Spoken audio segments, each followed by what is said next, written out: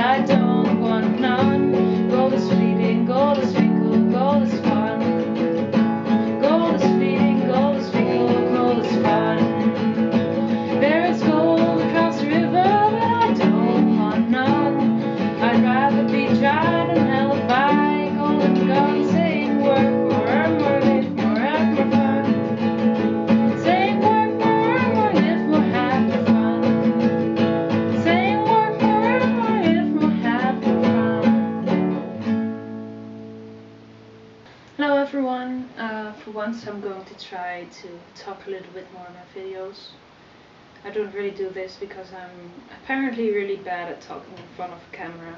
I just recorded a song. It's called "Alas I Cannot Swim" by Laura Marling. As you might tell, I started playing guitar today because I was feeling really crappy. Basically, I'm just a bit stressed out today, and guitar playing always helps me. I hope you're not too annoyed by my voice in this video. It's a little bit sharp sometimes, I'm sorry for that, but I can't play perfectly and I know that. The way I post songs on this YouTube channel is just the way I like to play them when I'm on my own. and I just like sharing it with people, I guess.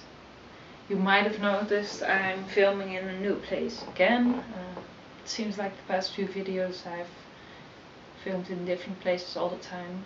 Uh, about half a year ago I moved out from my parents before I really figured out the best place to shoot my videos. I moved again a week ago.